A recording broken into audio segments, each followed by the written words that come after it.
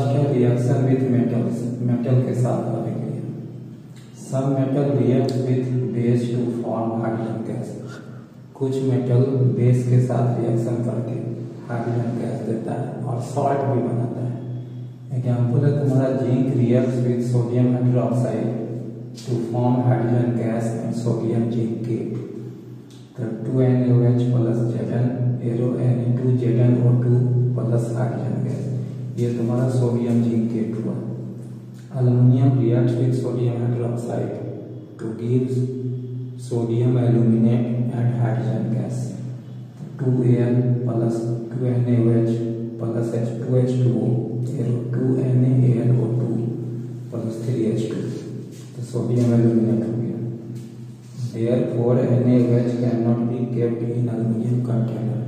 यही कारण है कि NaOH को aluminium के बर्तन में नहीं रखा जाता है। because it reacts with the metal to form toxic substance, या मेटल के साथ रिएक्शन करके। टॉक्सिक सब्सटेंस बनाता है मतलब वह धीरे धीरे शरीर पर बुरा प्रभाव डालता है। नंबर सेकंड है तुम्हारा reaction with acids bases reacts with acid to give salt and water पहले ही बता चुके हैं।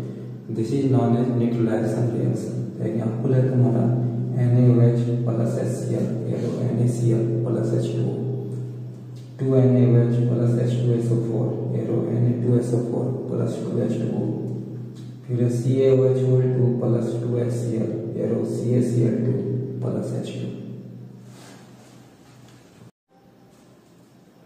number तीसरा रिएक्शन है तुम्हारा reaction with non metallic oxide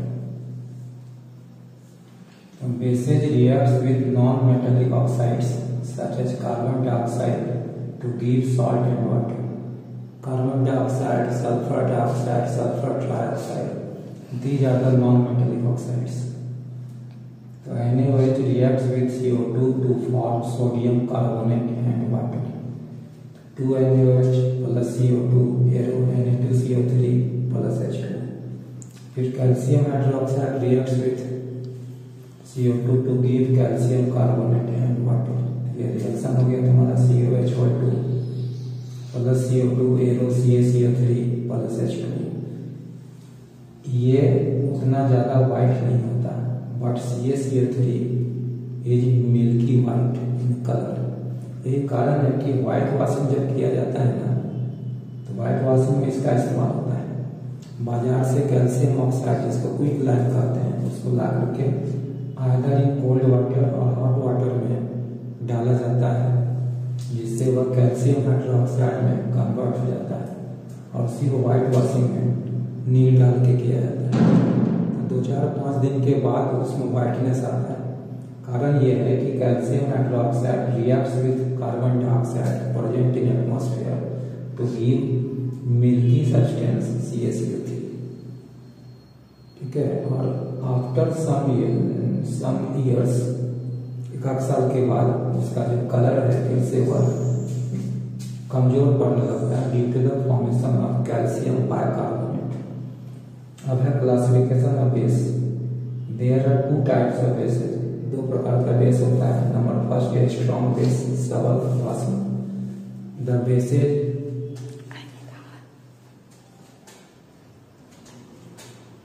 The bases which completely ionize to give hydroxide ion वह बेस जो पूर्ण रूप से आयोनाइज होता है हाइड्रोक्साइड आयन में उसको हम लोग स्ट्रॉन्ग बेस कहते हैं। NaOH और KOH इसका रिएक्शन यहाँ देना भूल गए। इसलिए देखो यहाँ साइड में रिएक्शन दे दिए NaOH रिवर्सिबल रिएक्शन के ऊपर H2O तो यहाँ रिएक्शन देना भूल गए थे, इसलिए देखो साइड रिएक्शन दे दिए NaOH Na plus OH minus में टूटा KOH K प्लस और OH माइनस में टूटा फिर है तुम्हारा weak base the base which ionise only small extent वह बेस जो बहुत ही कम मात्रा में आयनाइज होता है हाइड्रोक्साइड आयन देता है, उसको हम लोग वीक बेस करते हैं। एग्ज़ाम्पल है तुम्हारा अमोनियम हाइड्रोक्साइड यहाँ देखो अमोनियम हाइड्रोक्साइड को अमोनियम आयन हाइड्रोक्साइड में टूटा। फिर यहाँ पर तुम्हारा कैल्शियम हाइड्रोक्साइड कैल्शियम आयन और हाइड्रोक्साइड आयन में टूटा। तुम्हारा यूज़ ऑफ़ बेसेज बेसेज का उपयोग। नंबर फ़र्स्ट है एनेरोज तो ये मैन्युफैक्चर ऑफ़ सोप साबुन के उत्पादन में पेपर के उत्पादन में सिंथेटिक फाइबर को बनाने में जिसको रेयन कहा जाता है। नंबर बी है, इन पेट्रोलियम रिफाइनिंग या पेट्रोल रिफाइनिंग पेट्रोल के शुद्धिकरण में। और नंबर सी है एज ए लेबोरेटरी एजेंट प्रयोगशाला में यह उपयोग किया जाता है। तो those chemicals which is used in laboratory are called laboratory agent. Number second है के एच पोटेशियम हाइड्रोक्साइड इसको ट्रेड नेम कास्टिक पोटास होता है। In alkaline battery alkaline battery बनाने में होता है। इन मेकिंग सॉफ्ट सोप फिर नंबर थर्ड है तुम्हारा कैल्शियम हाइड्रोक्साइड जिसको स्लैब लाइन भी कहा जाता है। तो ब्लीचिंग पाउडर बनाने में ब्लीचिंग पाउडर का फार्मूला तुम्हारा C O C L whole C L होता है। फिर softening of hard water hard water को मीठा करने में। वाटर में मेनली दो तरह का होता है soft water and hard water तो हार्ड वाटर को सॉफ्ट वाटर में बदलने के लिए कैल्शियम हाइड्रोक्साइड का इस्तेमाल किया जाता है, जिसको सॉफ्टनिंग ऑफ़ हार्ड वाटर फिर neutralising acid in soil excess fertiliser का इस्तेमाल करने से soil becomes acidic in order to neutralise the acidic behaviour of soil farmer use to sprinkle या spread calcium hydroxide number fourth है magnesium hydroxide as a antacid to neutralise excess acid in the Digene में milk of magnesia के नाम से बाज़ार में medical के shop में मिलता है मैग्नीशियम हाइड्रोक्साइड जिसको कि मिल मिल्क ऑफ़ मैग्नीशिया कहा जाता है। इंडाइजेशन को दूर करने में इसका इस्तेमाल होता है। नेक्स्ट है टू क्योर इंडाइजेशन अपच को दूर करने में इसका इस्तेमाल किया जाता है। नेक्स्ट है तुम्हारा ammonium hydroxide for removing grease stain from cloth कपड़े में यदि ग्रीज का दाग लग जाता है, तेल का दाग लग जाता है तो अमोनियम हाइड्रोक्साइड का इस्तेमाल इसको दूर करने में किया जाता है।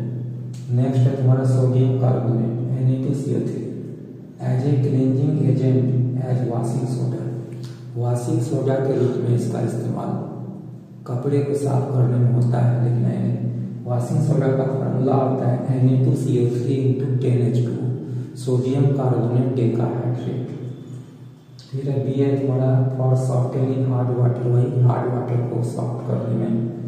फिर sodium hydrogen carbonate N A H C L three इसका फार्मूला होता है। N A H C L three N H C L three N H C L three इसका फार्मूला होता है in making baking powder baking powder बनाने में इस्तेमाल होता है powder use in baking industry उसी को बेकिंग पाउडर कहा जाता है as an antacid to cure digestion ठीक है डाइजेशन को सही करने में एंटासिड के रूप में इसका इस्तेमाल होता है। इनो में सोडियम बाइकार्बोनेट है बाकी उसमें फ्लेवर डाला जाता है ऑरेंज का, पुदीना का फ्लेवर डाल दिया जाता है। लेकिन basically Eno contains sodium bicarbonate in soda acid fire action carrier school में या बहुत सारा जगह को देखते हो लाल वाले कंटेनर में तुम्हारा टंगा रहता है। उसमें एन और एसिड रहता है।